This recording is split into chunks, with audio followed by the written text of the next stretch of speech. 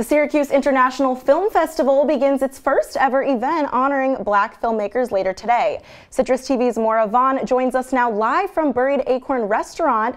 Maura, what kind of films can we expect?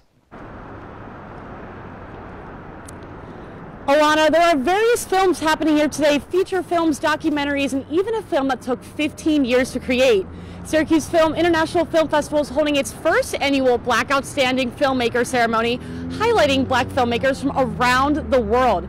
I had the opportunity to speak with Daniel Myricks, who is a Hollywood director who's coming back to Syracuse to explain why events highlighting black directors are so important.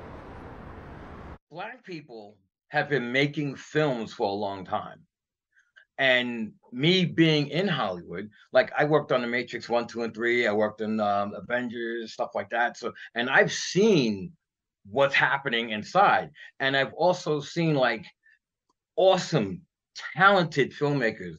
I mean, they've done some stuff that I would never. I was like, wow, you did wow. All right, people has to see this, and but every time they go down those roads, they met with opposition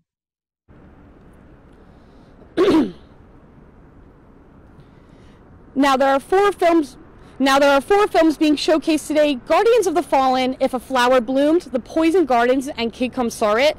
Guardians of the Fallen is actually the 15 year documentary that I was talking about earlier. So, definitely an interesting thing to see how that movie has progressed throughout the years. This film, this entire showcase will be from 2 to 7 o'clock today. So, you definitely can come down to check out four of the films. Tickets can still be purchased online, and there will also be a ceremony at 7 p.m. highlighting local filmmaker Eric Storyteller. That's all from me. Guys, back to you.